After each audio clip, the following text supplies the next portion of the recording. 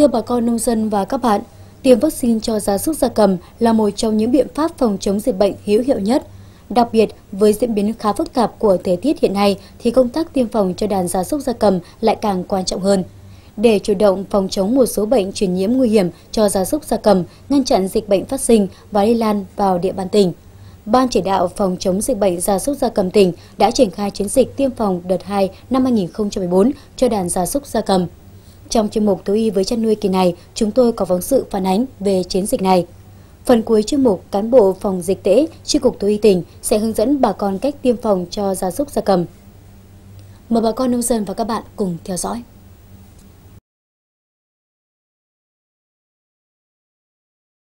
Trong chăn nuôi, ngoài việc phải lựa chọn con giống khỏe mạnh, chế độ chăm sóc nuôi dưỡng tốt, thì công tác tiêm phòng vaccine phòng bệnh cho gia súc, gia cầm, khử trùng tiêu độc chuồng trại, vệ sinh môi trường chăn nuôi là biện pháp tốt nhất, hiệu quả nhất, đơn giản nhất và kinh tế nhất để phòng chống một số bệnh truyền nhiễm nguy hiểm cho đàn vật nuôi. Vì gia súc gia cầm khi được tiêm phòng vaccine sẽ có miễn dịch chủ động chống lại sự xâm nhập của mầm bệnh.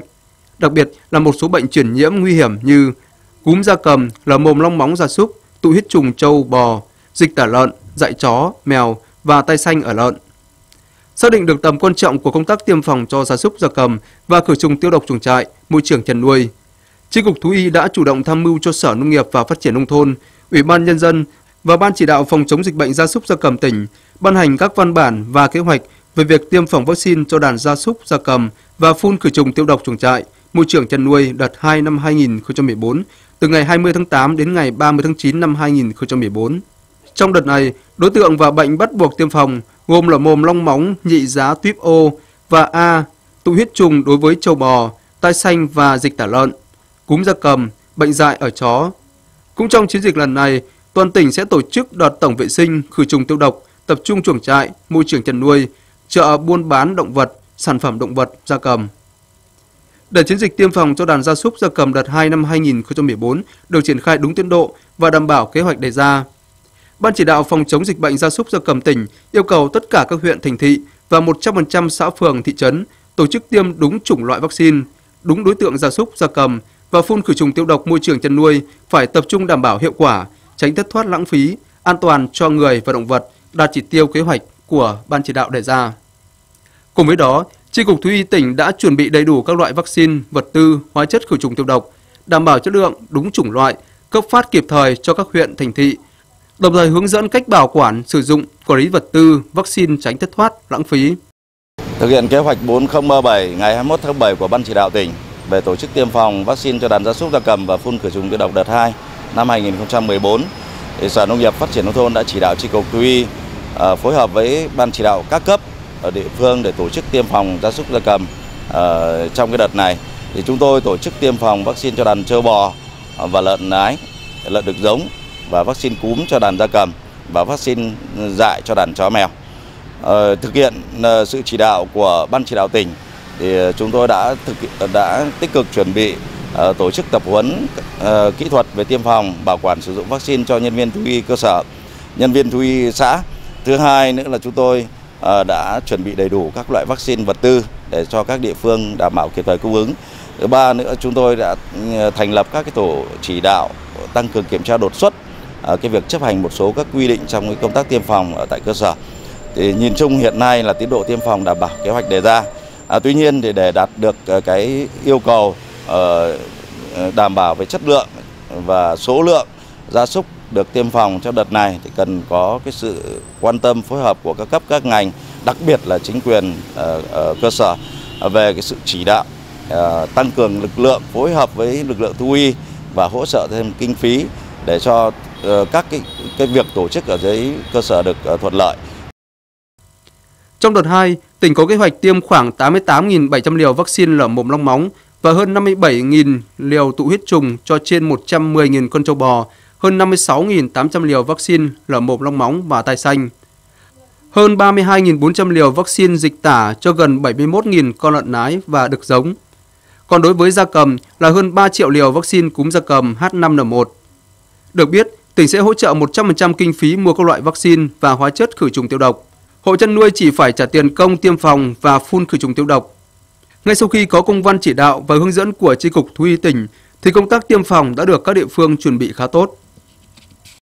À, thực hiện cái kế hoạch của Ban chỉ đạo phòng chống dịch bệnh gia súc gia cầm tỉnh Vĩnh Phúc, à, chúng tôi các cơ quan chuyên môn đã tham mưu cho Ủy ban nhân dân huyện, à, Ban chỉ đạo phòng chống dịch bệnh gia súc gia cầm của huyện triển khai hàng loạt các cái công việc ừ, cho cái đợt tiêm phòng ừ, theo kế hoạch của tỉnh. À, cụ thể là có cái làm chỉ đạo các xã thị trấn làm tốt cái công tác điều tra cái đàn vật nuôi để có cái số liệu uh, cho cái tiêm phòng. Uh, sau đó là cái công tác tổ chức cái tập huấn cho đội ngũ trực tiếp tham gia tiêm phòng của các xã thị trấn trên địa bàn huyện. À, đồng thời thì à, ban cái hoạt động của ban chỉ đạo là được à, tăng cường phân công nhiệm vụ cho các thành viên phụ trách ừ, các xã thị trấn trên địa bàn và đồng thời tổ kỹ thuật à, chỉ đạo trong cái đợt tiêm phòng gia súc gia cầm.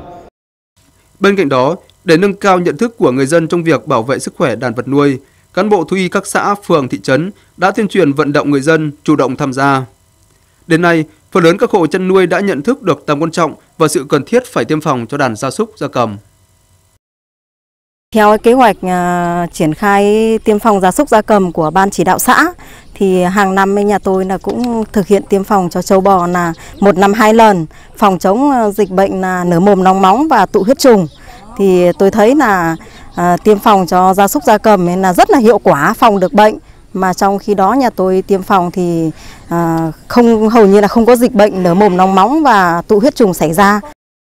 Hiện tại công tác tiêm phòng cho đàn gia súc gia cầm đang được các địa phương trên toàn tỉnh tích cực triển khai, điển hình như huyện Vĩnh Tường, Yên Lạc, thành phố Vĩnh Yên. Các địa phương đang tập trung tiêm phòng cho đàn châu bò, lợn và tiêm phòng dạy cho chó. Đầu tháng 9 sau khi tiêm xong cho đàn châu bò, lợn sẽ tiến hành tiêm đồng loạt vaccine cúm cho đàn gia cầm và phun khử trùng tiêu độc. Do chuẩn bị tốt về mọi mặt nên chiến dịch tiêm phòng gia súc gia cầm đợt 2 năm 2014 của tỉnh diễn ra khá thuận lợi, đảm bảo tiến độ kế hoạch và được người dân đồng tình ủng hộ. Theo báo cáo nhanh của Ban chỉ đạo phòng chống dịch bệnh của tỉnh, tính đến ngày 3 tháng 9, toàn tỉnh đã tiêm được trên 64.000 liều vaccine lở mồm long móng và gần 41.000 liều vaccine tụ huyết trùng đối với trâu, bò, đạt 72% kế hoạch của tỉnh đề ra. Hơn 22.000 liều vaccine dịch tả lợn chủng C và có trên 14.000 con chó, mèo được tiêm phòng dại. Trong quá trình triển khai tiêm, cán bộ thú y của tỉnh, huyện đều về giám sát tại cơ sở để có biện pháp xử lý kịp thời nếu phát hiện gia súc, vật nuôi có phản ứng sau tiêm. Đồng thời thực hiện tốt việc giám sát huyết thanh sau tiêm và sự lưu hành của virus theo chỉ đạo của Bộ Nông nghiệp và Phát triển Nông thôn, Cục Thú y và Ủy ban Nhân dân tỉnh. Đến thời điểm này, chiến dịch diễn ra an toàn, gia súc vật nuôi không xảy ra trường hợp tai biến nào sau tiêm. Tiêm vaccine phòng dịch bệnh cho gia súc gia cầm là một trong những biện pháp phòng chống dịch bệnh hữu hiệu nhất. Vì vậy, để bảo vệ đàn vật nuôi, bảo vệ thành quả sản xuất cho người dân, các địa phương trên địa bàn tỉnh tiếp tục đẩy nhanh tiến độ tiêm phòng theo đúng kế hoạch, đạt chất lượng, yêu cầu. Mặt khác, thường xuyên đẩy mạnh công tác tuyên truyền, nâng cao ý thức cho người chăn nuôi về công tác phòng ngừa dịch bệnh. Ngoài tiêm vaccine phòng bệnh cho đàn vật nuôi theo định kỳ, cần coi trọng công tác kiểm tra, kiểm soát việc vận chuyển gia súc gia cầm vào địa bàn. Đặc biệt, khi người chăn nuôi bổ sung đàn vật nuôi phải tiến hành tiêm vaccine phòng bệnh đầy đủ. Thưa bà con nông dân và các bạn, để giúp bà con và đặc biệt là cán bộ thú y cơ sở nắm chắc lịch tiêm cũng như kỹ thuật tiêm phòng đảm bảo an toàn cho vật nuôi khi tiêm. Sau đây, chị Lưu Thị Ánh Ngọc, tri cục Thú y tỉnh sẽ hướng dẫn lịch tiêm phòng và kỹ thuật tiêm phòng cho đàn gia súc gia cầm. Mời bà con nông dân và các bạn cùng theo dõi.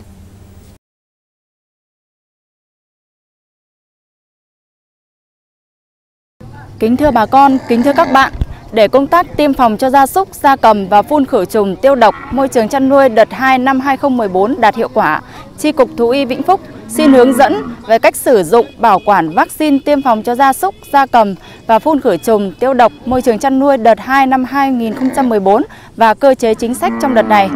Thứ nhất, đối với vaccine cúm gia cầm H5N1, đối tượng tiêm phòng trong đợt này là tiêm cho gà, vịt, ngan khỏe mạnh từ 2 tuần tuổi trở lên.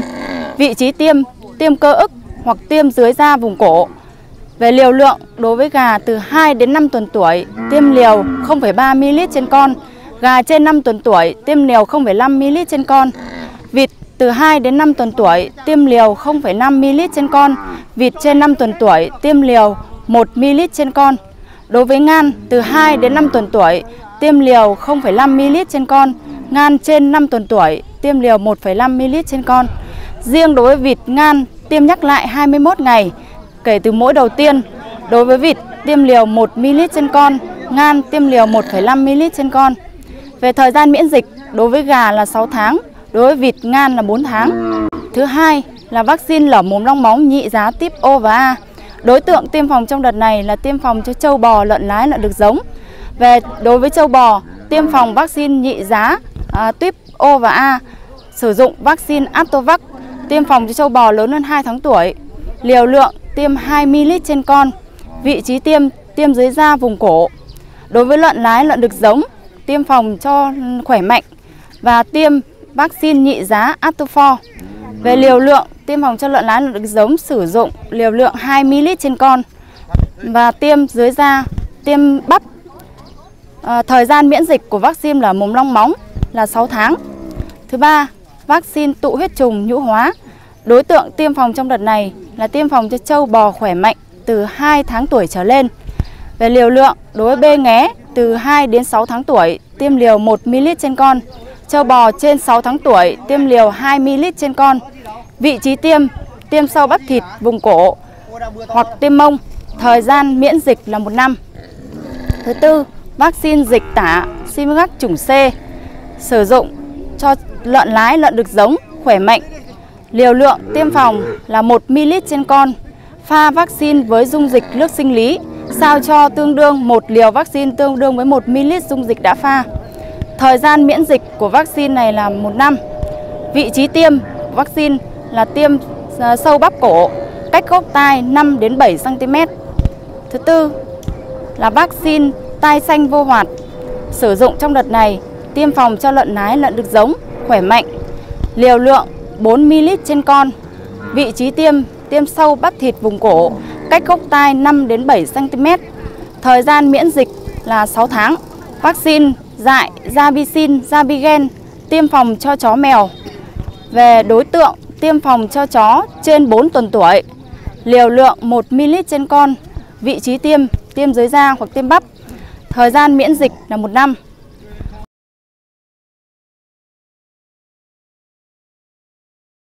Thứ hai là cách bảo quản các loại vaccine. Vaccine tiêm phòng gia súc gia cầm bảo quản ở điều kiện nhiệt độ 2 đến 8 độ C, tránh ánh sáng mặt trời chiếu trực tiếp và không để vaccine đông lạnh.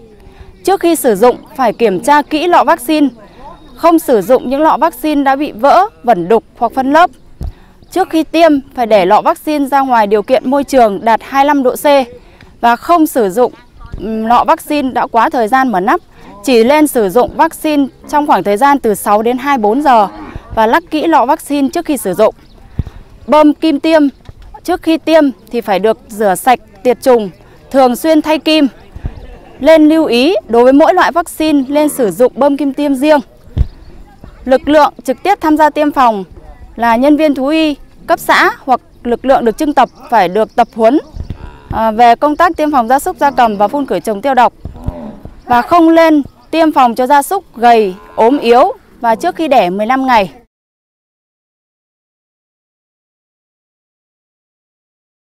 Thứ ba là về phun khử trùng tiêu độc. Trong đợt này, toàn tỉnh tổ chức một đợt phun khử trùng tiêu độc chuồng trại, môi trường chăn nuôi cùng với đợt tiêm phòng cho gia súc gia cầm đợt 2 năm 2014. Định mức đối với hộ chăn nuôi phun 0,05 lít trên một hộ và đối với chợ phun 2 lít trên một chợ. Chuyên mục thú y với chăn nuôi kỳ này xin được tạm dừng tại đây. Cảm ơn bà con nông dân và các bạn đã quan tâm theo dõi. Thân ái, chào tạm biệt.